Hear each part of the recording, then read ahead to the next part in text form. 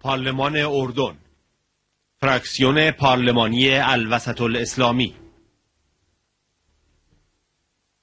فراکسیون پارلمانی الوسط الاسلامی اردن با صدور بیانیه‌ای ضمن محکوم کردن قتل عام مجاهدان اشرف توسط نظامیان مالکی اعلام کرد. ما عقیده داریم یورش مسلحانه به کمپ اشرف جنایتی است که رژیم عراق با هماهنگی رژیم ایران مرتکب شده است. ما همه سازمان های بین المللی را به دخالت سریع برای حفاظت پناهندگان ایرانی در اشرف و در کمپ لیبرتی که آنها نیز در شرایط غیر انسانی به سر می‌برند فرا می‌خوانیم. جامعه بین المللی بایستی برای حفاظت و کرامت آنان از حملات پیاپی مداخله کند.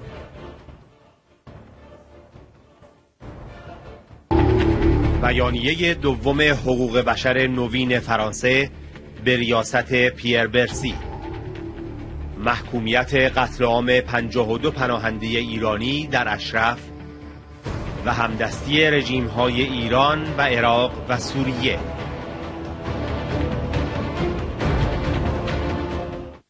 حقوق بشر نوین به شدیدترین وجه قتل عام 52 پناهنده ایرانی غیر مسلح در کمپ اشرف در عراق توسط مأموران دولت بغداد که با نقض کنوانسیون ژنو صورت گرفت را محکوم می کند.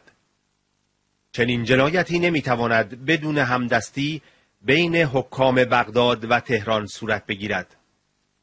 این جنایت در زمانی صورت می گیرد که روابط بین رژیم تهران، دولت بشار اسد در سوریه و همچنین حکومت عراق برای سرکوب مبارزان آزادی تقویت شده است.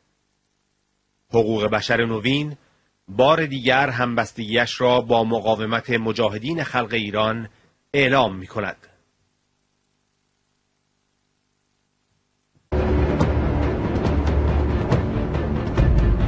کمیته عربی اسلامی دفاع از ساکنان اشرف فراخان به سازمان کنفرانس اسلامی و اتحادیه عرب و به کشورهای عربی و اسلامی برای مداخله و تأمین حفاظت مجاهدان اشرفی.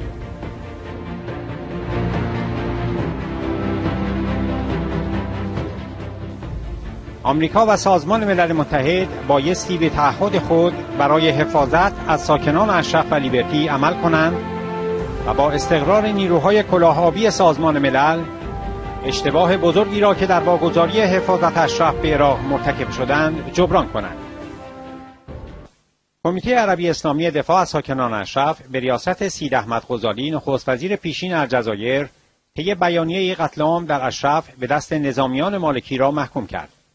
در این بیانیه آمده است قتل عام اشرفی ها از یک سو ادامه جنایاتی است که تاکنون بارها علیه ساکنان بیگناه اشرف و لیبرتی صورت گرفته و بی تردید مستاق بارز جنایت علیه بشریت است.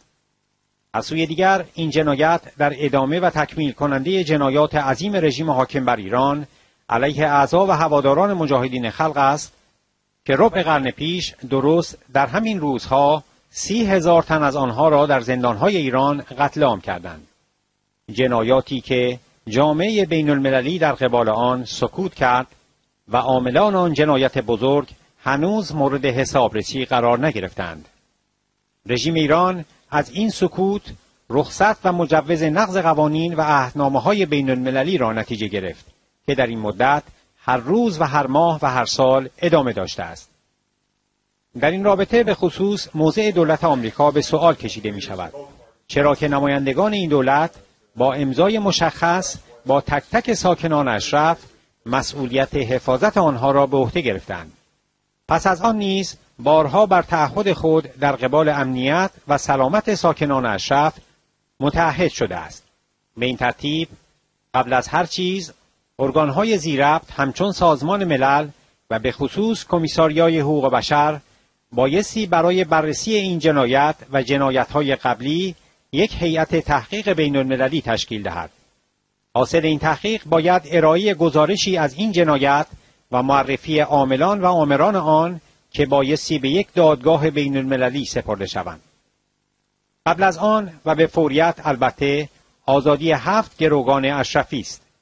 بنابراین دولت آمریکا و سازمان ملل متحد مسئولیت حفاظت ساکنان اشرف را به عهده دارند و بایستی به این وظیفه خود عمل کنند و با استقرار نیروهای کلاهابی سازمان ملل جهت تأمین حفاظت اشرف و لیبرتی اشتباه بزرگی را که در واگذاری حفاظت اشرف به عراقیان در سال 2009 مرتکب شدند جبران کنند.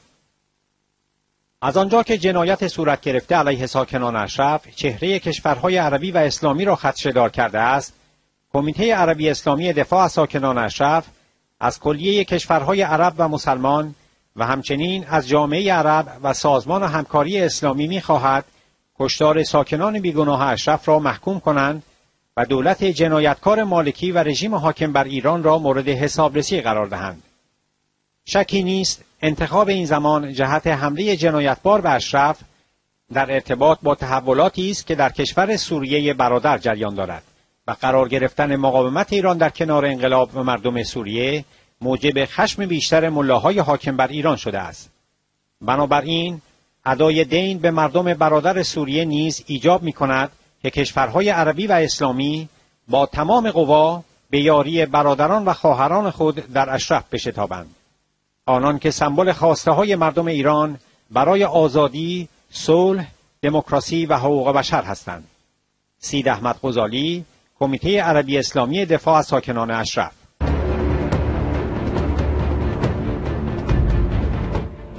بیانیه اتحادیه جهانی علمای مسلمین به ریاست شیخ یوسف الغرزاوی قتل عام شنی را که علیه پناهندگان در کمپ اشرف به اجرا درآمد محکوم می‌کنیم.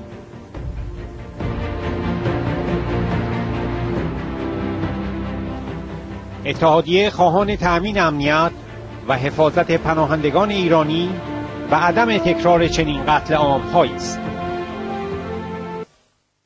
اتحادیه جهانی علمای مسلمین با نگرانی آنچه را که در رابطه با پناهندگان موجود در قرارگاه اشرف در عراق جریان داشته و دارد دنبال می کند.